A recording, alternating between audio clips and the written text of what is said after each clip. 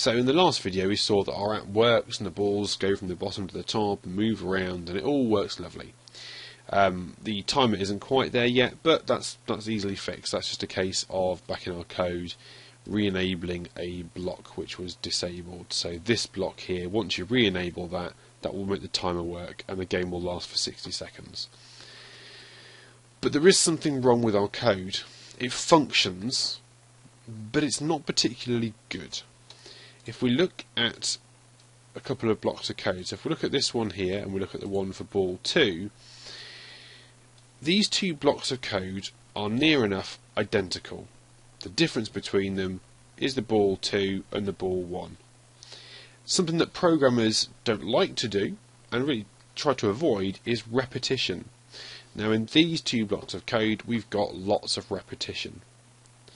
So what we're going to do today is we're going to look at a method of reducing repetition, making code more efficient and making it easier to add new features and functions. So today we're going to have a think about using a procedure. So let's think about our code so far.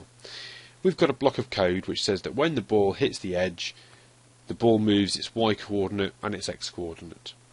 And that's duplicated four other times in our app. Now the problem with this is that we've got all this duplication. It means that if we want to change something about the code, we've got to change it here, here, here, here, and here.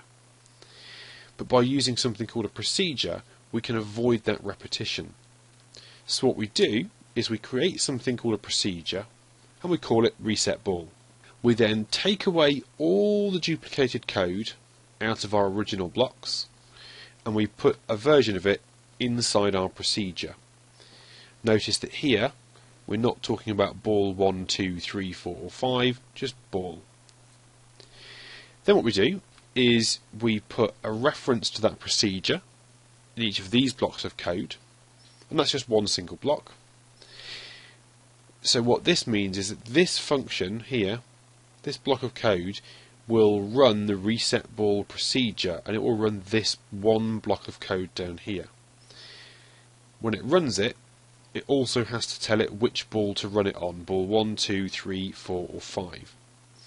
So that's what we're going to try and make happen in our tutorial today. So let's go back to our code. Here we go. Over here we've got the procedures tab. We're going to click on that and we're going to create a procedure. Now we're going to give this procedure a name and we're going to call it reset ball because that's what it's going to do. Now the reset ball procedure needs to be given a piece of information and that information is which ball it's going to reset. So we're going to click in here, we're going to add an input which we're going to call ball. Okay. We're then going to take the two blocks of code from the original function which we wrote, these two blocks of code we're going to take from this and we're going to put it into here. So now this function over here is going to do the job of resetting the ball. But at the moment it's still resetting ball 1 so I've got a little bit of fiddling around to do. We're going to detach these two for the minute and we're going to get rid of these. We're going to scroll down our list here go into the any component module and we're going to say any ball and then what we're going to do is we are going to get um, a y set y component, so set ball y. Okay, and we're also going to go in there and we're going to get a set ball x like that. These two things we're going to click back in place.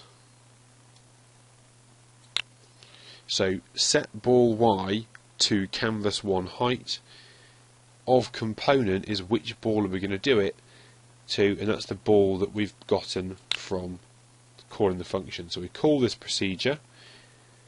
This value ball, oops, this value ball here gets passed into this block. So it says reset the y coordinate of the ball I was given to canvas one height. Do the same thing on this one. There we go.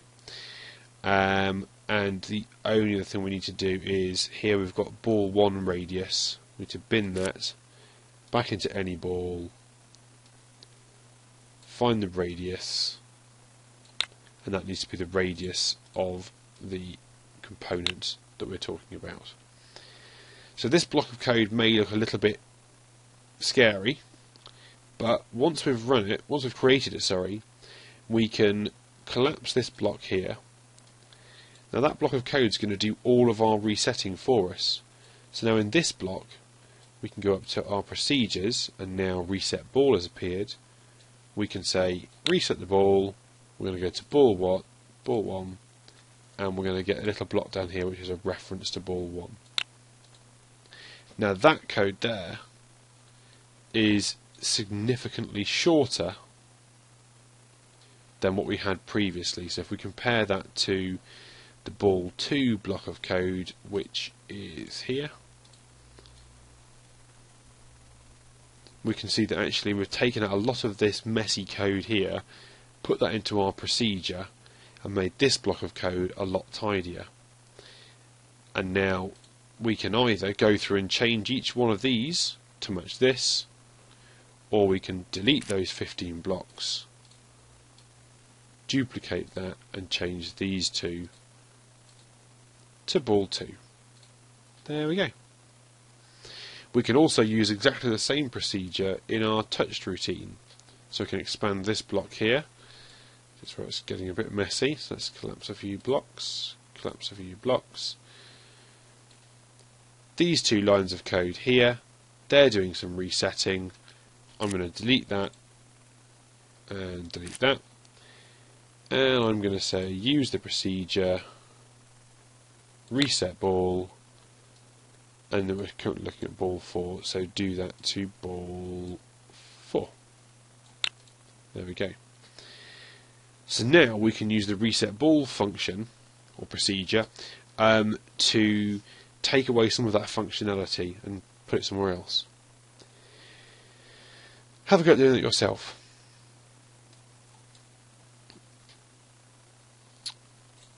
Okay, so that, that's hopefully now working. Um, we've got a few things that we can do to further improve our code. The ball 4 routine, let's have a look at that. Ball 4 routine, we've got quite a lot of stuff going on there. We've got check the ball colour, update the score, and then reset the ball. Again, we could try and reduce some duplication by writing a new procedure.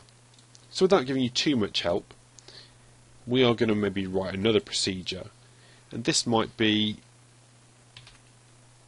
check. Ball.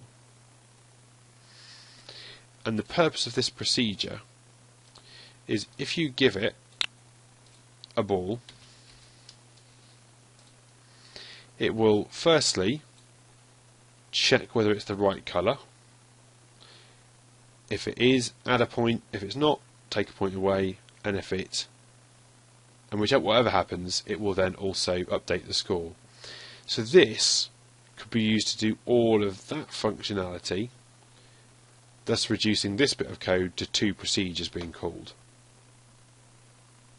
Have a go at that.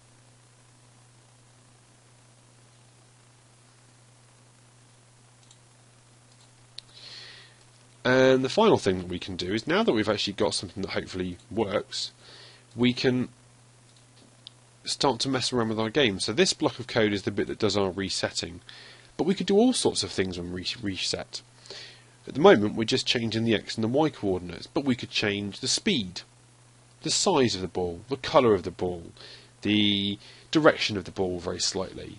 We could change um, how many points the ball is worth. We could do all kinds of things.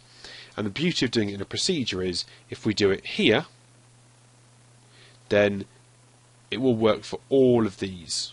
We've got to change it once here and it will work for all of these. So now I'm going to have a go at improving your game.